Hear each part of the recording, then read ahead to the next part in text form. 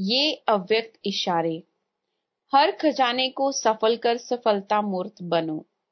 Number आठ, ब्रह्मा बाप ने संपूर्ण बनने के लिए अपने सर्व खजाने आदि से अंतिम दिन तक सफल किए। इसका प्रत्यक्ष प्रमाण देखा, संपूर्ण फरिश्ता बन गया। तो लक्ष्य रखो, मुझे बाप सम्मान और संपूर्ण बनना ही है। कुछ भी पुरुषार्थ करना पड़े, लेकिन निश्चिंत है। कि बाप समान बनना ही है।